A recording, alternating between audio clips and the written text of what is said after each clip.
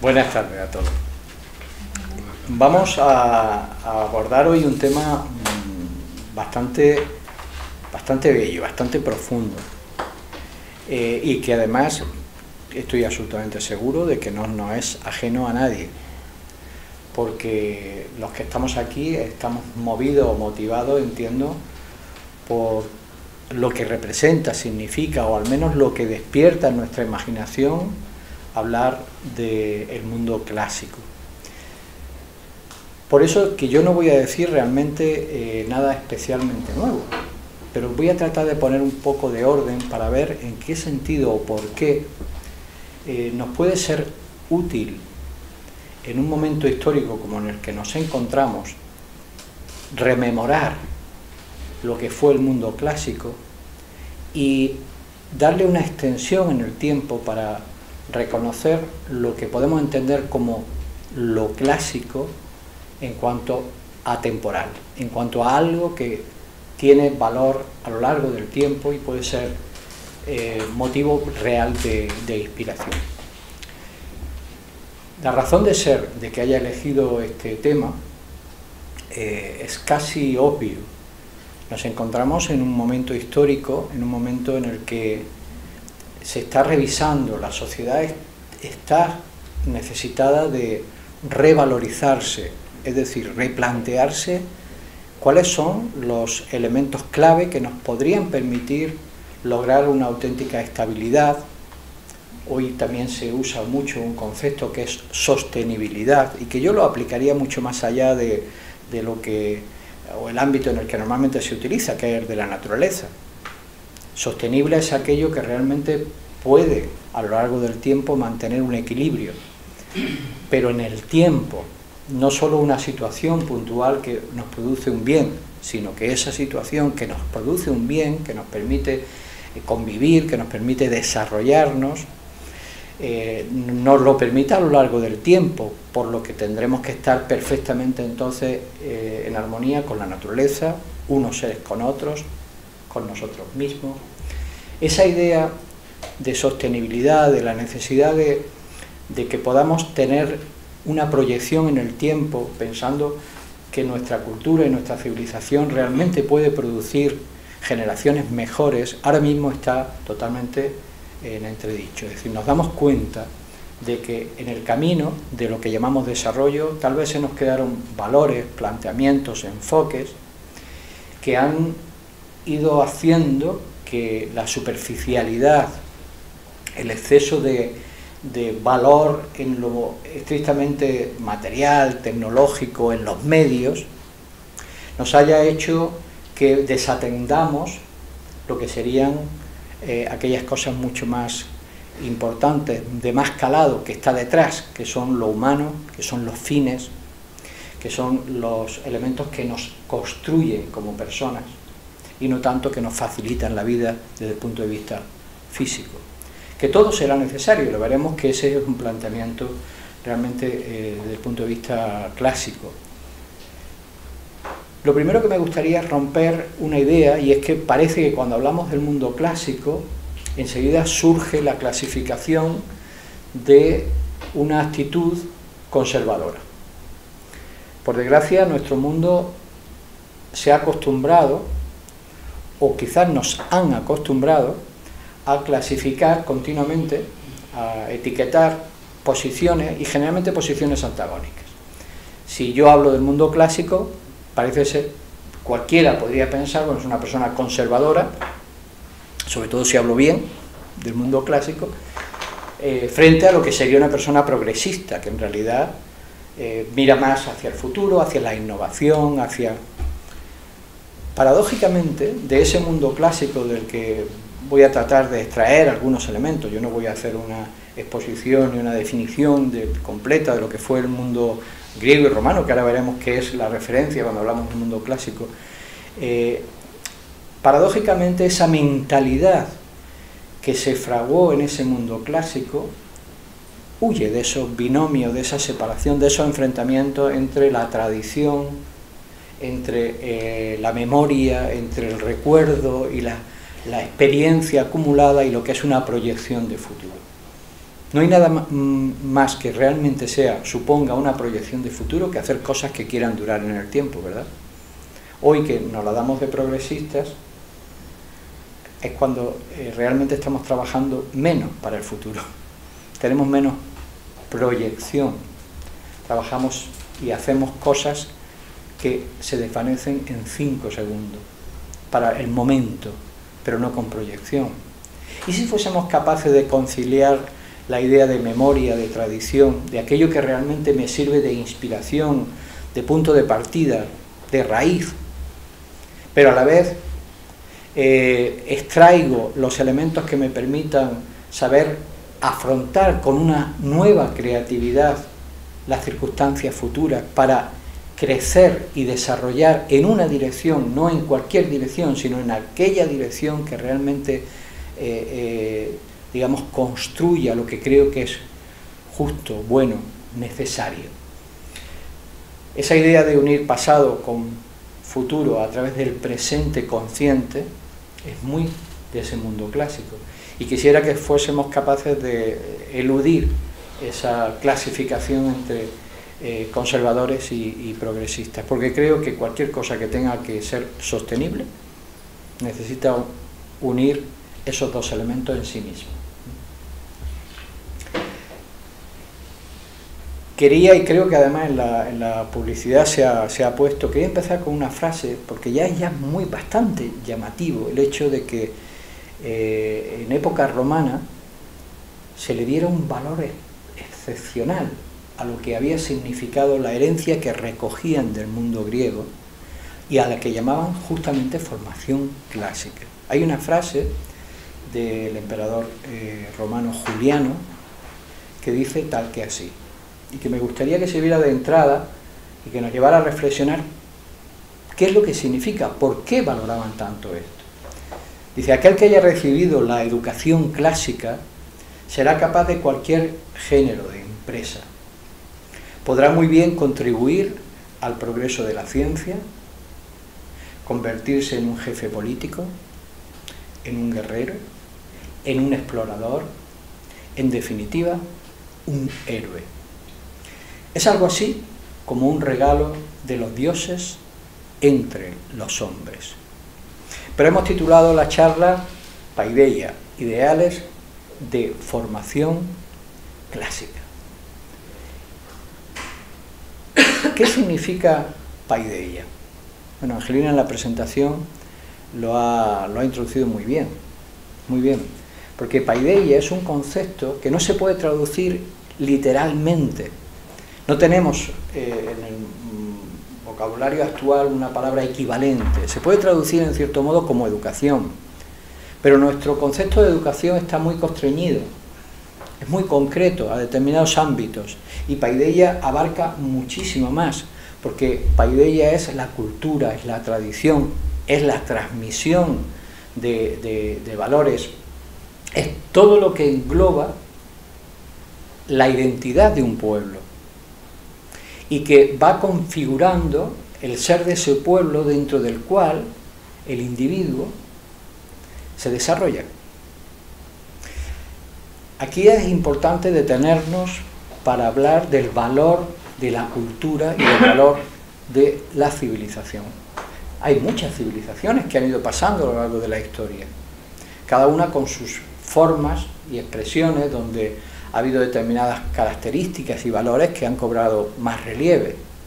Pero todas ellas han configurado un marco dentro del cual se ha ido desarrollando una ciencia, un arte, una forma de convivencia o de política, una religión.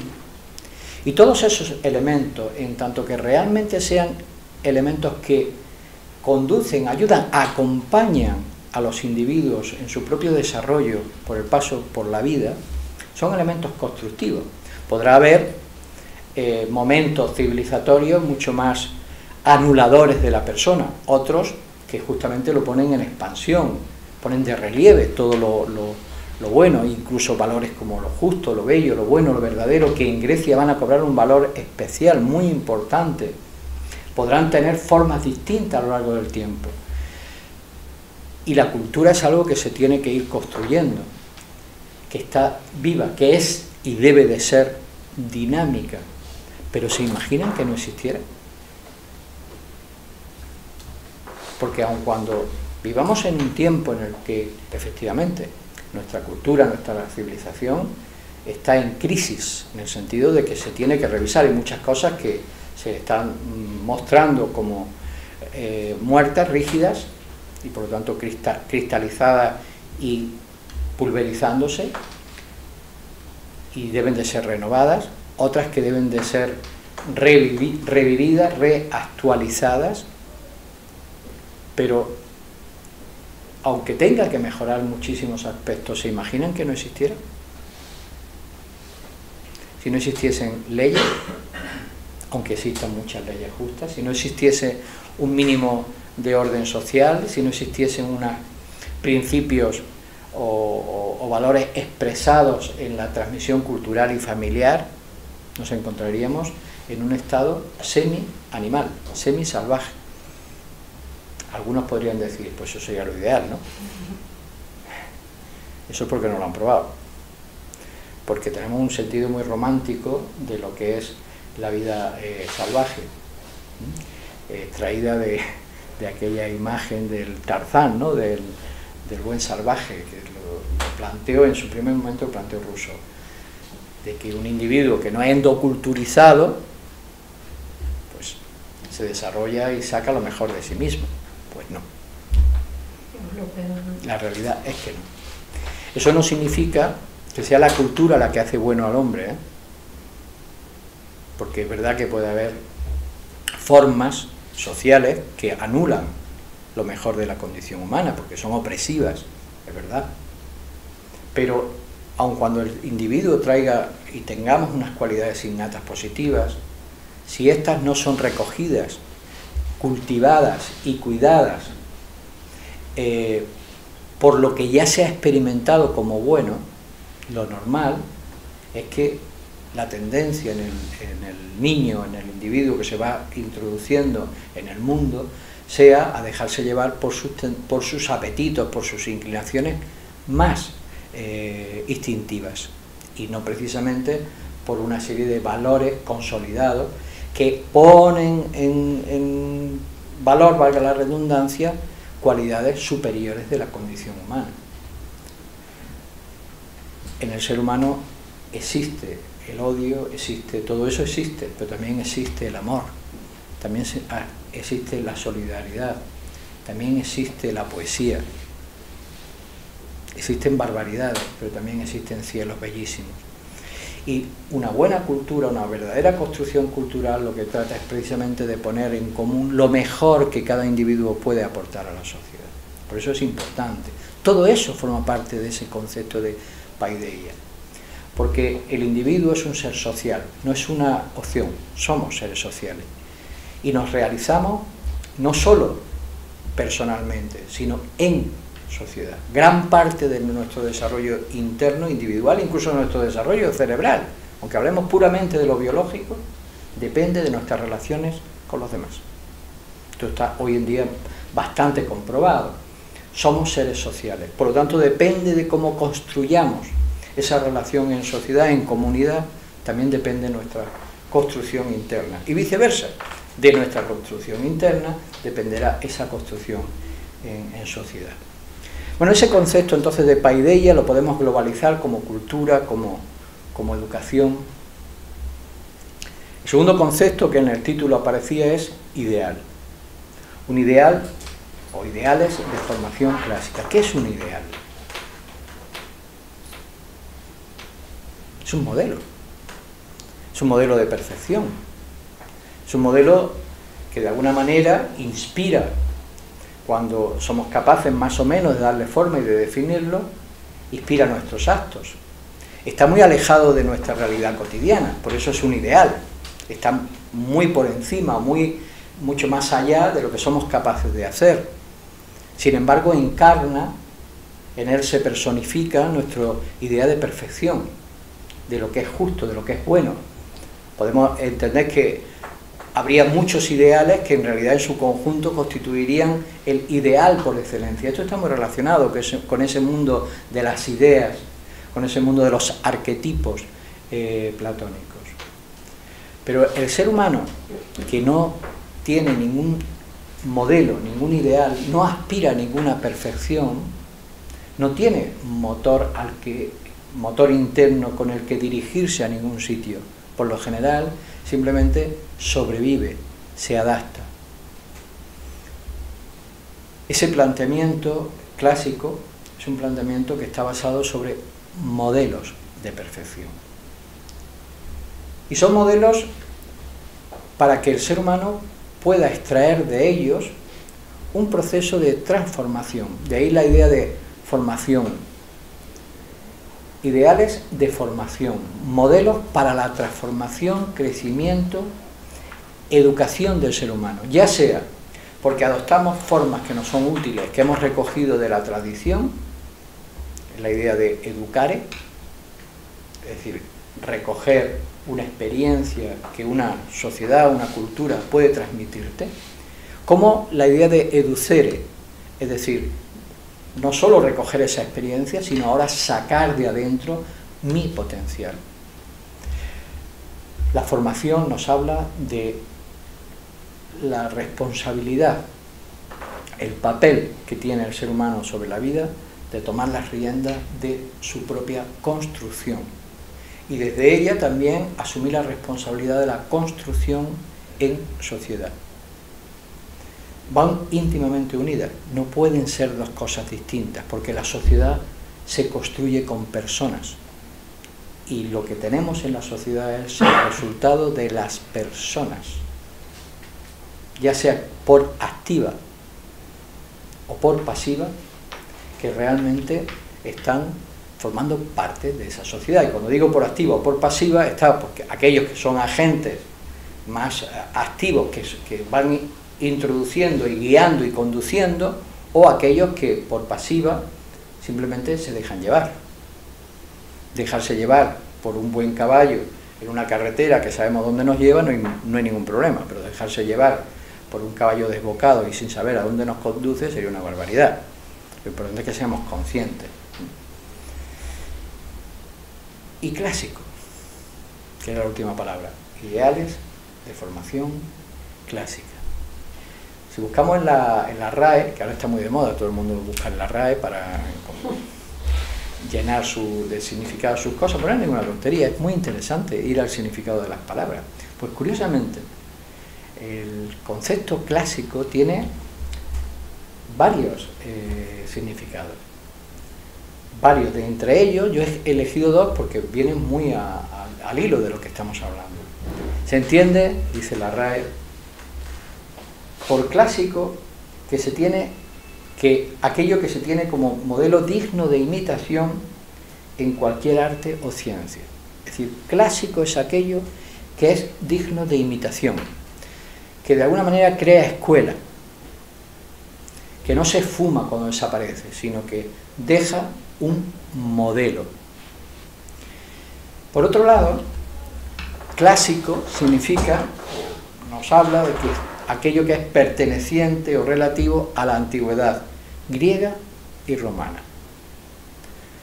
De aquel tiempo, de la Grecia eh, arcaica, de la época helenística, posteriormente Roma, hasta nuestros días han pasado unos pocos años. ¿eh? 2300, 2400 años desde Platón. Y ya Platón era heredero de... ¿Qué tenía ese mundo clásico para que cuando hablamos de aquello digno de imitación nos estemos refiriendo a Grecia y Roma? Algo tendría. Y algunas de esas cosas son las que voy a intentar destacar había prometido ser breve y me parece que me estoy eh, alargando un poco. Eh, voy a intentar destacar, sobre todo no por admiración de ese pasado, que obviamente no va a volver. Pobre del ingenuo que eh, se proyecte en el tiempo y se imagine con, nuevamente con togas, con, con las mismas formas. Las formas no vuelven, las formas se renuevan. Es parte de la ley de la naturaleza y de la vida. Pero aquello que realmente es válido, como las leyes de la naturaleza, sí perduran. Y hay muchísimos elementos que aunque se expresaron en Grecia y Roma y nos llaman la atención porque tuvieron una potencia vital enorme, sin embargo tampoco eran ni griegas ni romanas, son atemporales. Y en busca de esos elementos atemporales, o en base a esos elementos atemporales, es que se sustenta la idea de lo clásico. Por eso son modelos, por eso pueden ser dignos de imitación.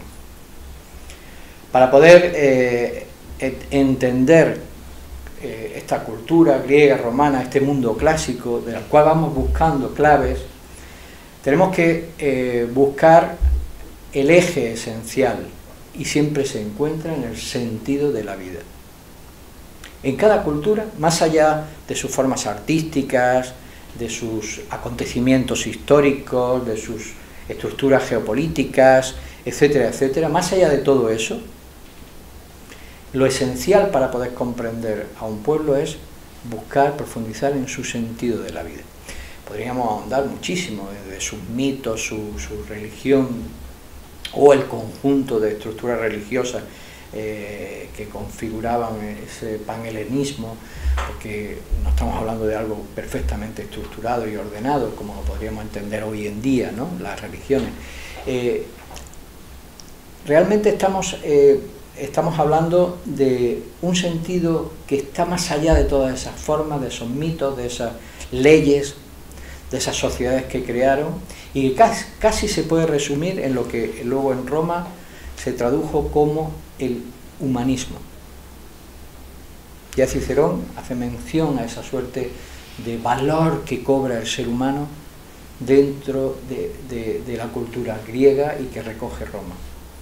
La dignidad del ser humano, que nace de la necesaria libertad que tiene que tener el individuo para poder realizarse, construirse y afrontar los retos que el destino le pone. Está muy lejos el ideal, el planteamiento eh, grecorromano de la idea de resignación, a pesar de que muchas veces los mitos pueden parecer que nos hablan de una suerte de resignación al destino de los dioses, porque la vida eh, de, ese ideal, la vida de ese modelo eh, grecorromano está basada sobre la responsabilidad, la importancia que tiene que cada individuo asuma su propia construcción, el desarrollo de su potencial, de la parte de divinidad que hay en nosotros.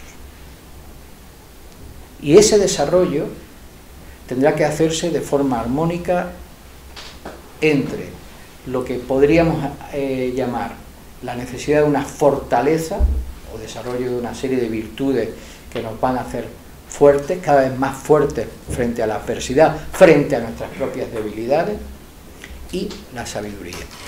Es un ideal que une ese valor para afrontar la vida con por otro lado, la necesidad de profundidad, de sentido.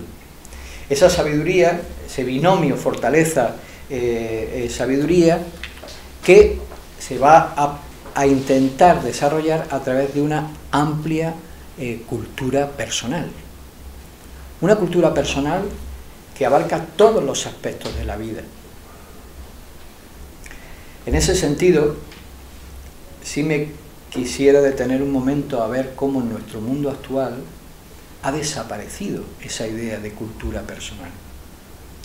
Casi toda la educación, no solo la educación, sino los intereses que luego posteriormente una persona que ya ha podido salir de lo que podemos entender como educación en las etapas de juventud, niñez, juventud, cuando ya está preparada para afrontarse a un trabajo, etcétera, etcétera, nuestro mundo eh, ha especializado demasiado las posturas, los, campos donde nos vamos a mover. De manera que incluso ya siendo muy jóvenes, los chavales tienen que elegir entre ciencias y letras, ¿no? La famosa disyuntiva, humanidades, ciencias, ¿qué es más importante? Esto para un griego, un romano, sería, sería de risa. ¿Cómo que qué es más importante? Son lo mismo. No se pueden separar. No se puede separar la necesidad de aplicación práctica o de conocimiento de lo que podrían ser las leyes de la naturaleza, sus mecanismos y sus procesos, para poder intervenir en la medida en que tengamos sabiduría para no hacer barbaridades, quiero decir, para no romper ciertos equilibrios, ciertas leyes de la, de la naturaleza, no se puede separar de lo que es el desarrollo de unas cualidades superiores que forman parte de lo más intrínseco de nuestra condición humana, que nos den, claridad del sentido de la vida, fines, principios, valores morales. Es decir, que esa separación de un conocimiento de la historia, de la psicología, eh, de la moral, del sentido trascendente de la existencia, de lo que sería un conocimiento científico del mundo, no solo son, no son contrapuestos, sino que necesariamente en el individuo deben de armonizarse. De manera que una persona que tenga realmente una proyección, aunque sea general, pero una proyección en todos los ámbitos de la ciencia, el arte, la literatura, la mística, la política. Entendiendo la política no el concepto tan manido que hoy en día, por desgracia, tenemos que vivir, sino el arte de la convivencia y de la gestión de esa convivencia, donde realmente podamos organizarnos y ordenarnos para contribuir al bien común. Si una persona tiene intereses y se cultiva en todos esos campos, tendrá una gran y amplia visión global. Y eso es clave en la cultura clásica. Nunca perder la visión global que sitúa al ser humano en la vida porque la hiperespecialización puede ser útil en un sentido, pero cuando el ser humano pierde de vista la perspectiva global, por desgracia va a ser muy difícil que se sepa conducir en la vida, personalmente y mucho menos ubicándose en el mundo en el que está. Porque qué juicio, qué decisiones, qué visión tenemos de la realidad si solo la miramos con un ojo, a través de un cristal o simplemente con una, no sé si han visto, ya no se ve, pero antiguamente se veían los caballos que iban por las ciudades, los burros se le ponían una orejera, en realidad era unos, eh, una especie de, de, planos que evitaban que el caballo viese para los lados, para que así no se asustase, no, solo mirara en la dirección que lo habían puesto, ¿no? Tiene un nombre, no sé cómo se llama eso. Orejera. Antojeras. Antojera.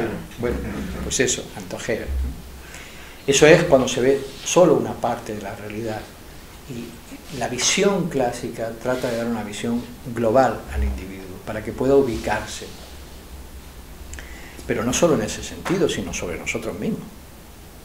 Pues esa visión clásica trata también de unir un binomio que es el cuerpo y el alma y por eso ese esfuerzo de trabajo, de control, de superación, de crecimiento, va dirigido a los dos aspectos, tanto nuestro aspecto eh, biológico, eh, físico, vital, como nuestro aspecto emocional, nuestro aspecto intelectual. Esa visión completa, global, que si habláramos de Platón, pues nos llevaría a esa conjunción del alma, el espíritu y el cuerpo, es parte de ese mundo clásico. Cuando el ser humano pierde una perspectiva de sí mismo y abandona aspectos que le son cruciales, tarde o temprano se resiente. Y la educación y la vida hoy en día está muy focalizada solo a cubrir necesidades muy básicas, muy biológicas, pero que compartimos con la mayor parte de la naturaleza, pero que no son esenciales en nuestra condición humana. Lo que nos hace humanos no es nuestra parte animal, eso ya lo tenemos en, común con los animales. ¿Qué nos hace humanos? Esa es una pregunta que se haría cualquier eh, griego, cualquier romano.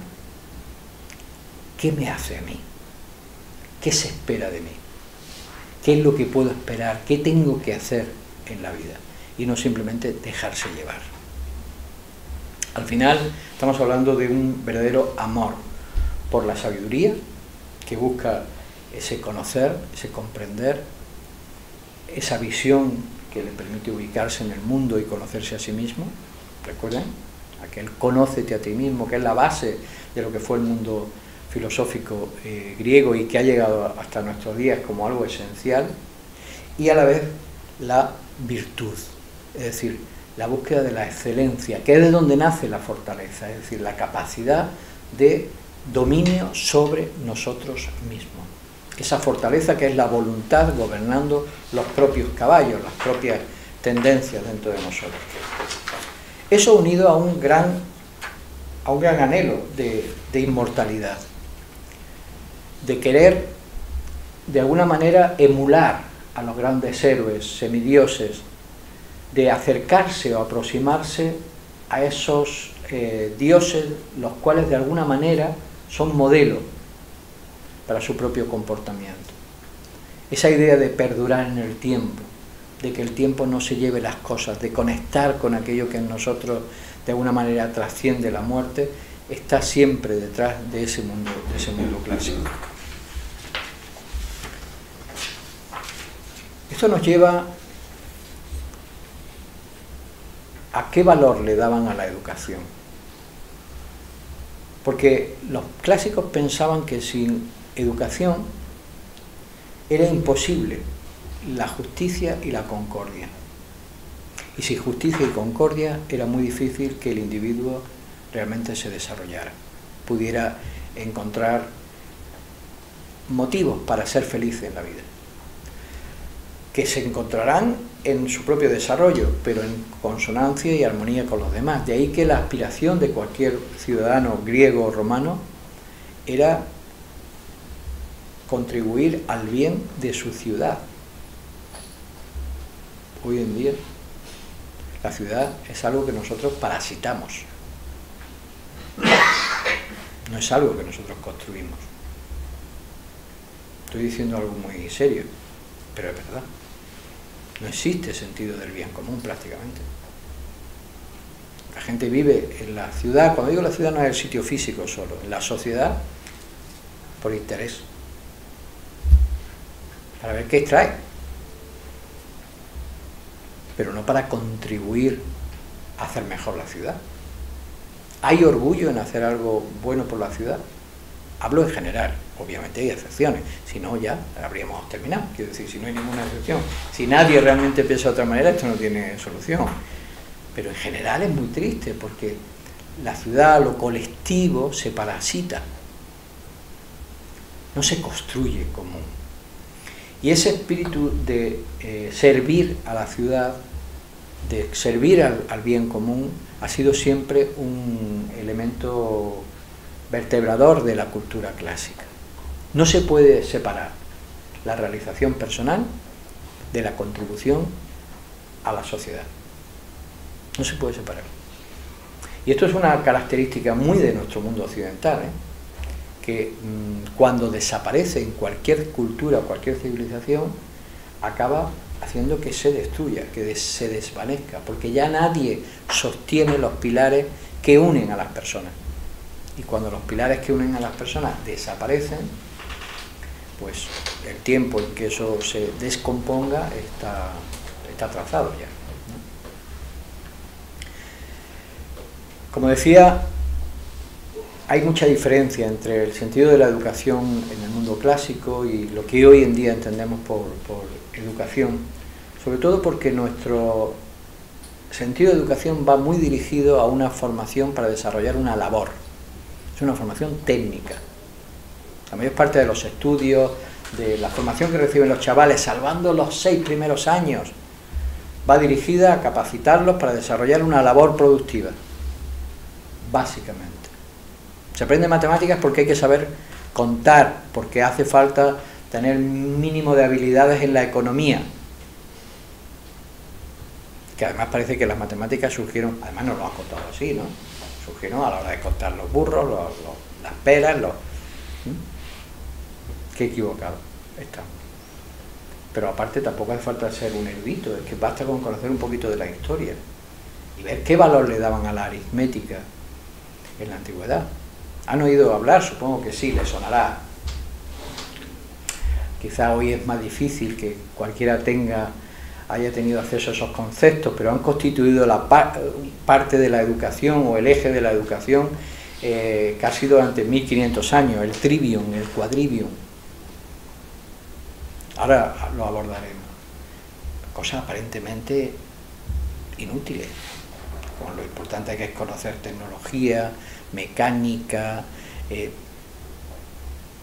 pues hace falta mucho más. Eso es lo que valoraban los clásicos. Por un lado, aunque haga falta una formación técnica, una técnica, un saber hacer, si el que va a manejar esos conocimientos no tiene discernimiento, no tiene voluntad, no tiene fortaleza, no tiene valor, no tiene sabiduría para saber reconocer lo necesario, no sabe dónde va, no sabe las consecuencias de sus decisiones y sus actos, ¿de qué le sirve saber manejar muy bien algo? Sí, quizás para sobrevivir, pero realmente no se está realizando como persona y lo que es peor, tampoco tal vez aporte nada bueno a la sociedad, sino todo lo contrario. Es necesario ese equilibrio de los dos factores. Por eso, los que conocen algo de, la educación que proponía Platón cuando hablaba de educar a través de la gimnasia y de la, música, entienden que no se refería a que todos tenían que aprender a tocar un instrumento y además ser buenos en la lucha, eh, en la palestra, ¿no? en la lucha libre. Se refiere a otra cosa, mucho más profunda. Y es, por un lado, tener una formación que te lleva a dominar y controlar tus capacidades, pero que por otro lado te lleve a desarrollar las más nobles y elevadas actitudes. Es una formación interior y una formación exterior. Es una capacidad de poder elevarte hacia los mejores principios y por otro lado descender para conocer las mejores formas. Esa formación moral por un lado y por otro lado técnica, que ha de estar perfectamente compaginada.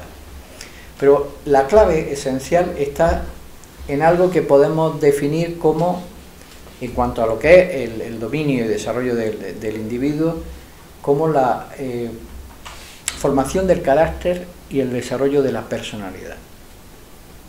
Elementos que hoy en día casi pasan desapercibidos para nosotros. Casi toda la cultura griega y romana, cuando digo romana hago mención sobre todo a, esa, a ese planteamiento estoico que es el que va a permear toda la cultura eh, romana, va dirigida justamente a, por un lado, darle herramientas al individuo para controlar su temperamento, es decir, sus impulsos emocionales que pueden ser muy destructivos cuando están desbocados. Esa es la formación del carácter, ir, ir controlando nuestro mundo interno, nuestros impulsos más eh, libres, más que libres, eh, anárquicos, bajo un principio rector, una conciencia que les da una medida adecuada, un control, de ahí que Platón habla justamente de la fortaleza y de la templanza como la capacidad de controlarnos a nosotros mismos.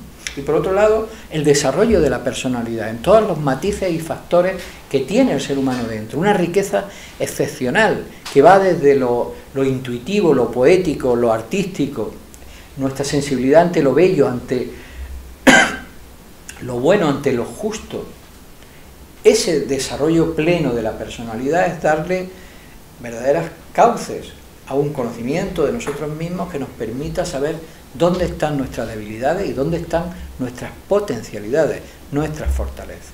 En definitiva, formar al individuo interiormente para que sea fuerte exteriormente, para que realmente fuera pueda asumir en el mundo, pueda asumir su destino. Pero es un trabajo que va de adentro hacia, hacia afuera.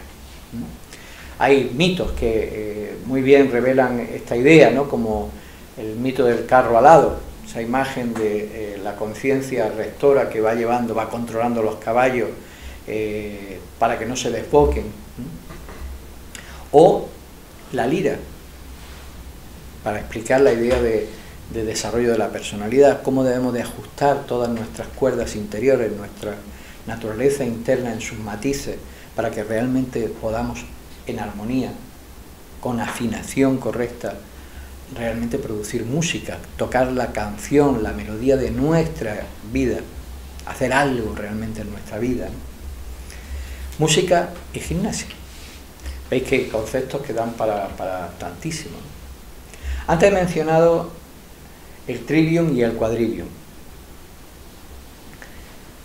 ¿Recuerdan? Vamos a recordar. ¿Qué era el trivium? El trivium es la base sobre la que se sustentaba la enseñanza eh, griega. De hecho, Platón pedía que se cultivasen algunos de estos aspectos para poder entrar en la academia que él había fundado. Lo que pasa es que la, carga, el significado semántico que estas palabras que ahora vamos a, a mencionar tienen hoy en día no son exactamente los mismos que tenían en la antigüedad. O digamos tienen diferentes niveles. Tienen un nivel básico, práctico, pero tienen un nivel de profundidad y que desarrolla una serie de facultades internas que a veces se nos escapan. El trivium estaba constituido por la dialéctica o lógica, la gramática y la retórica o la oratoria. ¿Para qué sirve todo esto? Hombre, para un ingeniero lo de la lógica, un ingeniero informático sobre todo, le vendrá muy bien, ¿no? Pero que la educación de la gente y lo que valora sea estas cosas, analicemos por un momento. ¿Qué es la dialéctica o la lógica? Es la capacidad de relacionar causas y efectos. Nos está hablando de la, de la búsqueda de la verdad, la capacidad real de penetrar el sentido de las cosas. La lógica y la dialéctica es ese impulso y esa, mm, esas leyes o ese saber hacer hacia la comprensión y descubrimiento de lo verdadero, cosa que parece que le importaba. No solo lo verdadero si tú me has engañado o no, sino lo verdadero que hay detrás de la vida, cuáles son sus falsedades, sus máscaras, qué es lo que realmente vale la pena, qué es lo que no. La gramática que a más de uno se nos atragantaría hoy en día, o se nos atragantó de pequeño, ¿no? Porque nos habla del arte de escribir y de conocer las reglas, cómo se estructura. En realidad nos está hablando de cómo se estructura el pensamiento, de la capacidad justamente de dar forma a esas ideas. La gramática nos enseña a pensar. De ahí que sea tan bueno esforzarse en tratar de escribir lo que uno piensa porque los que lo habéis intentado, aquí hay una larga distancia entre pensar y saber contarlo. Y escribirlo, articularlo a través del lenguaje. Porque realmente estamos pasando de un plano más abstracto a uno más concreto. Y la retórica, que es un paso más, que es el arte de la bella y correcta expresión hablada. Hoy en día retórica se refiere solo a la figura del lenguaje no soy ajeno a cómo los, conceptos hoy en día han cambiado. Pero es la oratoria, es la capacidad de comunicar. O sea, no solo pienso, no solo sé darle forma a lo que pienso, sino que además lo sé comunicar. ¿Por qué era tan importante el diálogo, la conversación en ese mundo clásico? Hoy, que es todo lo contrario, ya hemos resumido todo en mandar caritas por, por una máquina. Porque el diálogo es la base de la construcción humana. Con nuestras verbalizaciones nos construimos a nosotros mismos y construimos la sociedad. Cuando falta la capacidad de comunicación a través de, de la palabra, empieza a ser sustituida por exabruptos. Y entonces empezamos a suponer lo que el otro piensa, pero ya no lo sabemos. O cuando la palabra se vuelve vacía, hueca. Y después de los exabruptos vienen las armas. A mí esto es una de las expresiones que más me ha gustado de, Mayor Zaragoza. Eh, las veces que lo he escuchado, hace muchas veces mención a la importancia de restaurar el valor de la palabra. Porque cuando la palabra pierde valor, es sustituida por las armas. La paz la concordia que tan valorada era para los clásicos se construye gracias a esta secuencia. Fijaros si era importante. Esto era lo que valoraban para ser un individuo completo y un buen ciudadano. Y hoy en día no tiene ni la más mínima importancia. Y luego estaba el quadrivium, aritmética, geometría, música, astronomía. Bueno, esto parece que algunas cosas son como más prácticas. Pero el concepto de aritmética, tiempo, voy, uh, madre mía, bueno, ya voy corriendo. El concepto de aritmética, que hoy para nosotros sería cálculo, ¿no? Aprender a calcular, realmente es el conocimiento y abstracción de los números, de ideas abstractas. Número, no voy a poner muy metafísico, pero número viene de noúmeno, que es la comprensión de las ideas puras. Pero en cualquier caso, para un niño, el trabajar con los números le lleva a poder manejar el pensamiento abstracto, que luego nos permitirá poder manejarnos con ideas sutiles, como por ejemplo el sentido de libertad, de justicia, de bondad, de belleza. La geometría son los números en el espacio, son las formas. Y va desarrollando una capacidad de abstracción visual. La música son los números en el tiempo. Si la geometría son los números en el espacio, la música son los números en el tiempo. Es la conjugación de los ritmos, de las melodías, es decir, de, los, de las cosas en armonía, conjugándose unas con otras. La música es la, expresión más eh, perceptible para el ser humano de lo que es la conjugación de lo diferente en concordia unos con otros. Eso es una verdadera sinfonía. Y la astronomía es los números en el espacio y en el tiempo. Es decir, el movimiento de las cosas. La astronomía lo que mide es la vida en movimiento. Y nos prepara para comprender que todo está en flujo, viene de algún lugar y va a algún lugar. Pero obviamente esto está muy lejos de nuestros conceptos actuales de astronomía, música, geometría y eh, aritmética. Por otro lado, y antes de dar estas pinceladas, perdón, antes de terminar estas pinceladas sobre la educación, recordad el valor que tenían en este mundo clásico los mitos, los mitos y las leyendas, los símbolos, que de alguna manera constituían un elemento esencial en esa capacidad de desarrollo de nuestra comprensión del mundo, de la realidad, de necesidad de comprender y dar sentido a lo existente a través de la intuición. Lo que pasa es que los mitos que nos han llegado de forma plana a través de los poetas populares, Realmente donde se descifraban, donde se hablaba de su verdadero y profundo significado, eran las escuelas de misterios, que tenían un papel muy importante, tanto en Grecia como, en Roma, aunque con Roma desaparecieron. En esas escuelas de misterios se profundizaba en esos mitos que nos hablaban sobre los misterios de la vida, de la muerte. Hay un mito al que me voy a referir muy rápidamente porque va a cobrar un valor especial en la cultura clásica y que está relacionado con el fuego. Porque, curiosamente, el fuego va a ser el eje en la ciudad, en la construcción de la ciudad. Siempre habrá un fuego sagrado, que es el, punto, el corazón de la ciudad. Siempre al fundar una ciudad se encenderá un fuego sagrado. Es el eje de la familia, el fuego. En todas las casas habrá un fuego que es custodiado por el pater. Y es, a su vez, el eje del ser humano. La idea de mantener vivo el fuego interior. Y ahora voy a explicar por qué. No sé si conocen el mito de Prometeo. Prometeo habría robado el fuego del Olimpo, que ardía entre los dioses para traérselo a los seres humanos.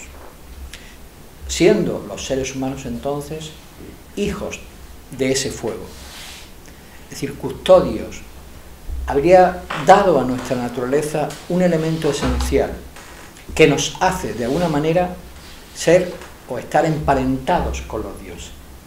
El desarrollo y custodia de ese fuego en lo externo y en lo interno que va del individuo el grupo más pequeño, la familia, familias en época clásica no son las familias de ahora. La idea de familia era mucho más grande, más grande. Del individuo, la familia y la ciudad se está refiriendo a la idea de mantener vivo lo divino y no desde una perspectiva religiosa, sino de una perspectiva de las facultades superiores, los valores superiores, la condición que hace inmortal al ser humano y que está emparentado directamente con unos valores que ahora terminaremos mencionando, como son la idea de lo bello, de lo justo, de lo verdadero, de lo bueno, que son los pilares del mundo clásico. Lo bello, lo justo, lo bueno, lo verdadero y de lo que nos hablará Platón. Son expresiones de ese fuego. Para el mundo clásico, el ser humano es custodio y además tiene la responsabilidad de desarrollar ese fuego dentro de uno, de desarrollar lo que de divino hay en nosotros y que nos emparenta justamente con los dioses. Por eso hablaba de, los sentidos de los mitos. Difícilmente eh, se nos aparece enseguida en la idea del, robo del fuego del Olimpo esa, idea, y que aparece en otras culturas, ¿eh? dicho sea de paso. Porque ese fuego, para las tradiciones herméticas, está emparentado con la mente superior, habiendo cuatro elementos, tierra, agua, aire y fuego. Fuego es justamente lo que activa el nous, el ser, lo que pone claridad, luz y vida en nuestra parte más inmortal.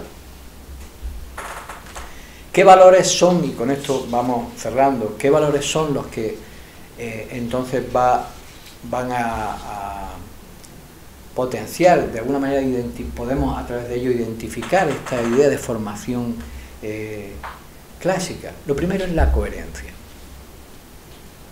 que no todo el mundo lo considera un valor, pero es la coherencia entre lo que pienso, lo que siento y lo que hago. Yo lo traduciría hoy de otra manera, la dignidad. Esa coherencia, esa dignidad, ese ser fiel a uno mismo, está por encima de todas las cosas, para este pensamiento clásico. Hoy en día lo que está por encima de todas las cosas no es la dignidad. ¿O sí? Hay otras cosas que nos obligan a hacer todos en en manada lo que hay que hacer, pero por la dignidad no. La salud, sin embargo, sí es un valor, que es un valor en la antigüedad, ¿eh? muy importante. Men sana in corpore sano. Sí. Pero la dignidad la consideran superior. Eso es lo que le permite eh, luchar, por ejemplo, contra la esclavitud. Quien no valore la dignidad por encima de todo, nunca lucharía contra la esclavitud por ejemplo, o contra la injusticia, por ejemplo. Pero claro, si luchar contra la esclavitud, contra la injusticia es ponerme en peligro, no podría. Pero claro, no todos los seres humanos, obviamente, eh, vamos a poder, o estamos hechos exactamente de la misma composición o pasta. Pero menos más que algunos hay que a lo largo de la historia realmente valoraron más la dignidad que otras cosas. Eso es parte de ese pensamiento heroico de ese pensamiento que quería vivir la vida de forma heroica y bella, que es el, arquetipo casi clásico, ¿no? Valor, sabiduría y belleza. Y la belleza está en las formas, pero las formas no de cualquier manera, bella.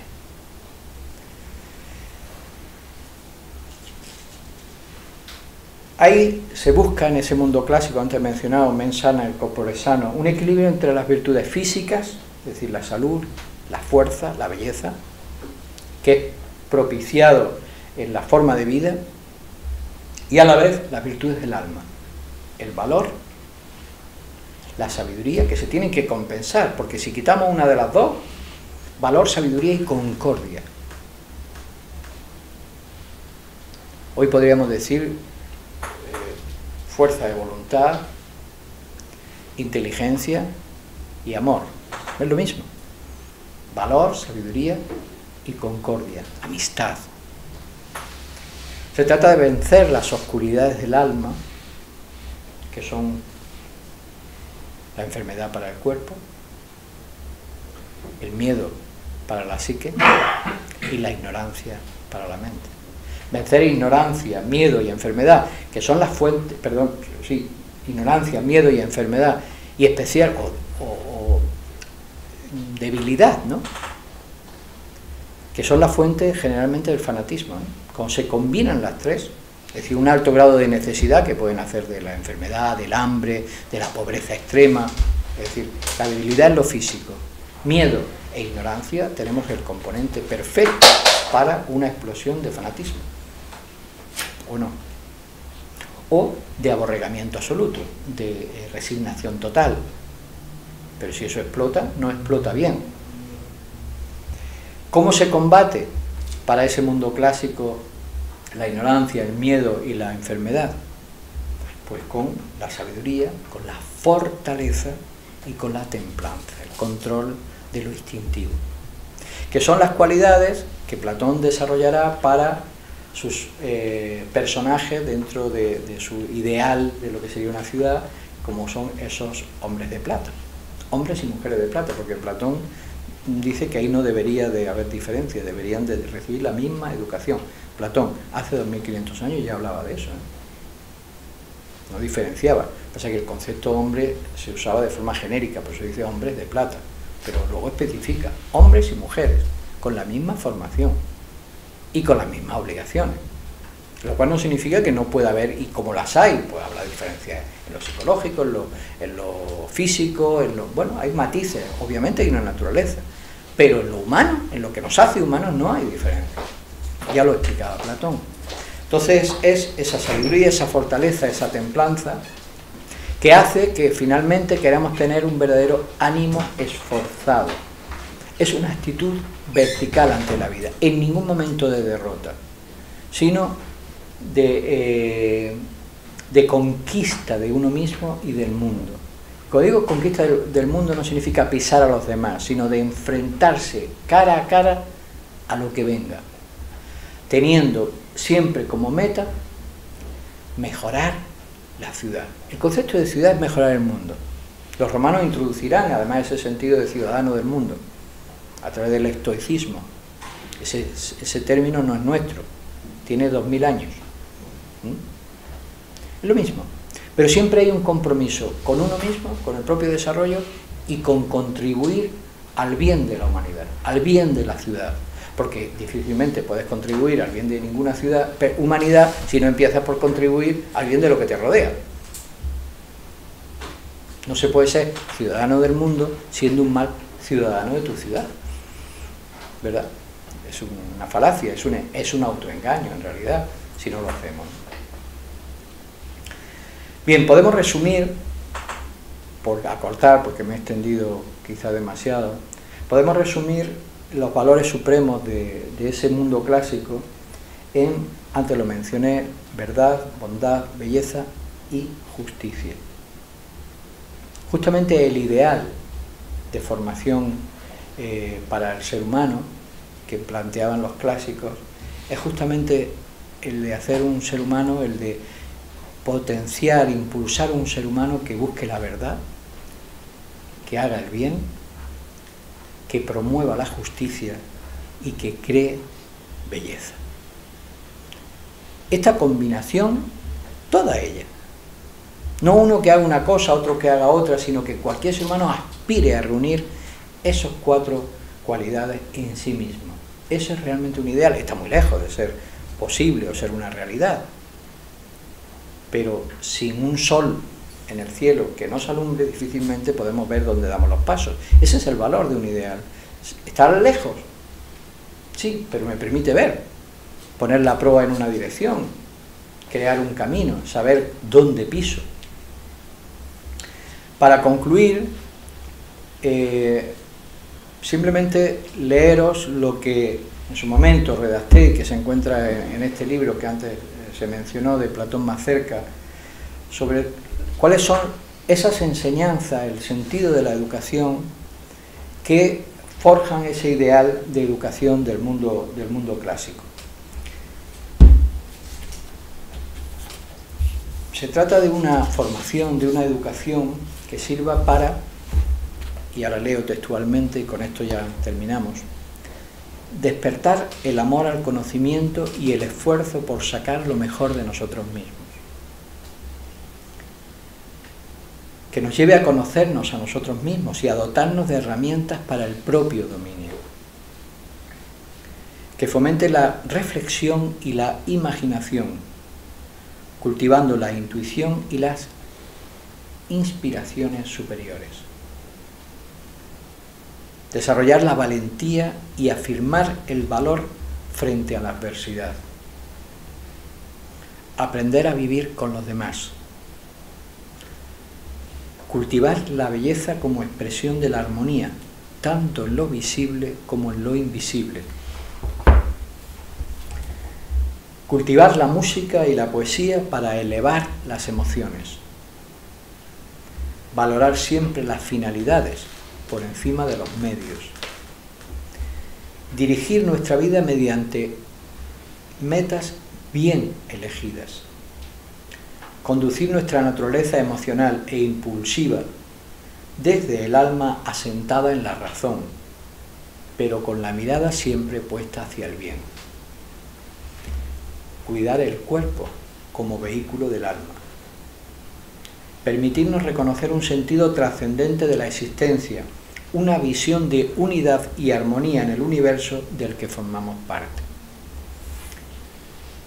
Y finalmente reconocer nuestra alma inmortal.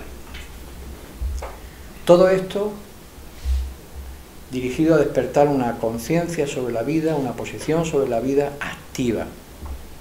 En ningún caso una posición que ante la oscuridad del entorno nos lleve a, la resignación y al abandono.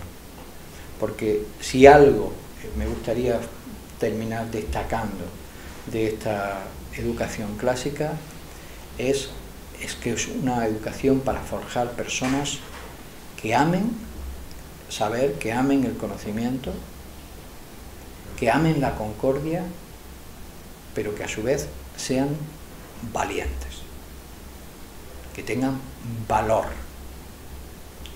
para asumir su responsabilidad en el mundo y para con el mundo.